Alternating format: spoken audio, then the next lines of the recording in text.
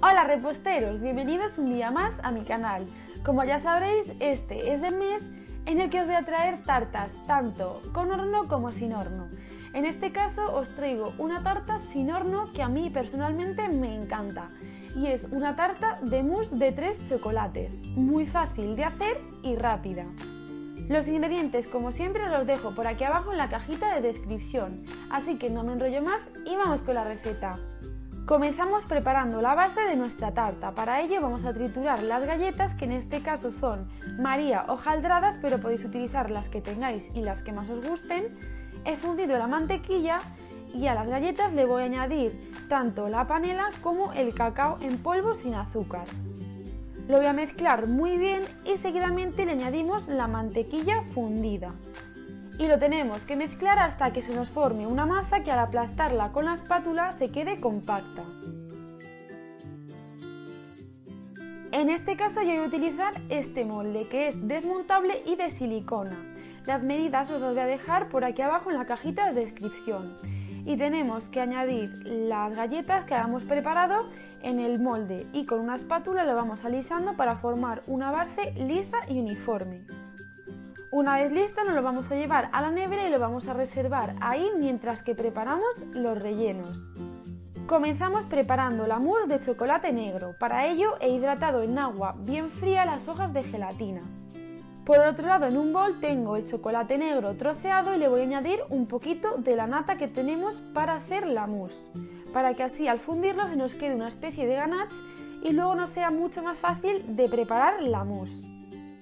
Lo fundimos a intervalos cortos de tiempo en el microondas o bien también podéis hacerlo a baño María. Y una vez tengamos el chocolate fundido le vamos a añadir las hojas de gelatina que tenemos que escurrir muy bien y con el calor residual del chocolate se van a terminar de fundir. Lo reservamos un momento y por otro lado en un bol vamos a montar el resto de la nata. Tenemos que conseguir que nos queden una nata mm, semi-montada, ni muy dura ni muy blanda, para que así nos quede una mousse perfecta. Como siempre os digo, para que la nata monte muy bien, tanto el recipiente como las varillas y la nata deben de estar bien fríos. Una vez tengamos la consistencia que necesitamos para la mousse, vamos a ir añadiendo primero un poquito de nata y lo removemos rápido para así igualar las densidades y luego el resto de la nata lo vamos a incorporar poco a poco con movimientos envolventes, como veis en el vídeo. De esta manera vamos a conservar todas las burbujas de la nata que hemos conseguido al montarlas y nos va a quedar una mousse espectacular. Cuando la tengamos lista sacamos el molde de la nevera y lo vamos a rellenar con esta primera capa. Lo extendemos muy bien ya que eh, la mousse de chocolate negro suele quedar más densa que las demás. Gracias a que el molde es transparente puedo ir viendo cómo me van quedando las capas. Si fuese necesario, como estoy haciendo yo, ya que esta mousse es bastante densa, podéis ayudaros con una espátula para que quede todo bien liso y uniforme. Y cuando lo tengamos listo nos lo llevamos al congelador mientras que preparamos la siguiente capa. De esta manera esta capa va a ir endureciendo y cuando pongamos la siguiente no se nos va a estropear. Ahora vamos a preparar la mousse de chocolate con leche y es como la anterior. Ponemos las hojas de gelatina a hidratar y por otro lado mezclamos un poquito de nata con el chocolate con leche, lo fundimos muy bien y por otro lado montamos la nata de igual manera que en la anterior. Cuando tengamos el chocolate fundido le añadimos las hojas de gelatina bien escurridas y con el calor residual se van a terminar de fundir. Si vieseis que le cuesta un poquito terminar de fundirse, podéis ponerlas otros segunditos en el microondas. O, si lo habéis hecho al baño María, ponerlo un poquito más hasta que se fundan las hojas de gelatina. Seguidamente vamos a ir incorporando la nata. Como os he dicho antes, primero añadimos un poquito y lo movemos rápidamente para igualar las densidades.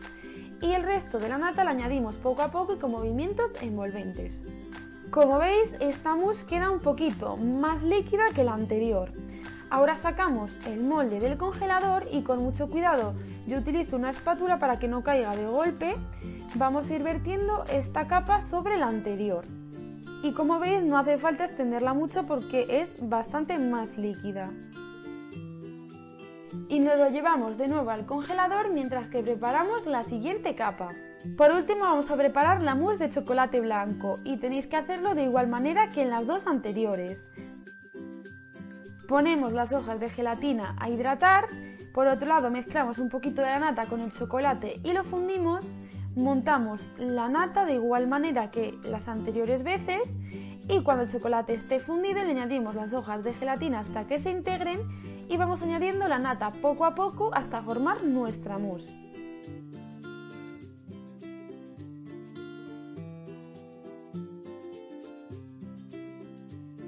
Por último sacamos el molde del congelador y le añadimos esta capa sobre la anterior que ya debe de estar un poquito cuajada. Y como antes lo vamos a hacer poniendo una espátula debajo para que no caiga de golpe y no nos dañe las anteriores capas. Y ahora sí nos lo vamos a llevar a la nevera un mínimo de 4 horas, pero yo os recomiendo que lo dejéis de un día para otro. Para desmoldarla yo estoy utilizando una espátula que he mojado en un poquito de agua para que así no se nos estropee el acabado de la tarta. Y gracias a que nuestro molde es de silicona y desmontable va a ser súper fácil de desmoldar. Si queréis retocar un poquito el borde de la tarta por si se ha estropeado un poco al desmoldarlo, con una espátula y con mucho cuidado podéis ir repasando los bordes. Si no, podéis dejarla tal cual, que también queda muy bien. Ahora para decorar la tarta yo voy a utilizar un stencil, en este caso tiene un unicornio. Lo coloco encima de la tarta en el centro y con un poquito de cacao sin azúcar en polvo lo voy a espolvorear por encima con cuidado de que solamente eh, caiga en el stencil y no por los bordes para que me quede la forma en la tarta. Seguidamente para retirar el stencil con mucho cuidado yo me voy a ayudar de una espátula para levantarlo sin que se caiga el cacao por todos lados. Como veis queda súper chulo y bonito. Por último, para terminar de decorarla, yo le voy a poner por todo el borde de la tarta unas almendras crocantes. Os recomiendo que pongáis las almendras justo antes de presentar la tarta, ya que al meterlas en la nevera a mí lo que me pasó fue que empezaron a soltar como un poquito de caramelo y luego no se veía el resultado tan bonito. Como veis podéis diferenciar las capas de la tarta, la base de galletas y luego la mousse de chocolate negro, la de chocolate con leche y la de chocolate blanco. En este caso, como la tarta era para un cumpleaños, os grabé el trocito que yo me comí del corte. Como veis, eh, lo que os he comentado de las almendras, al meterlas en la nevera ha soltado como un poquito de caramelo. Por eso os digo que las pongáis justo antes de entregar la tarta o de que os la vayáis a comer. Aunque si nos importa, pues da igual. Como veis, el corte de esta tarta habla por sí solo. Se diferencian perfectamente todas las capas y se aprecia muy bien la textura que tienen nuestras mousses, que es muy aterciopelada y luego al comérnoslo es un placer para todos los sentidos. Si sois amantes del chocolate y os gustan las tartas sin horno, esta os va a encantar, os lo aseguro. Por supuesto, esta tarta debéis de conservarla en la nevera dentro de un recipiente hermético y os la podéis comer tal cual recién salida de la nevera, ya que como mejor está es fresquita. Así que bueno, si os ha gustado la receta, en concreto las tartas sin horno, hacedmelo saber suscribiéndose al canal, dándole a me gusta y compartiendo el vídeo para así llegar a más gente. Nos vemos en el siguiente vídeo, un besito reposteros.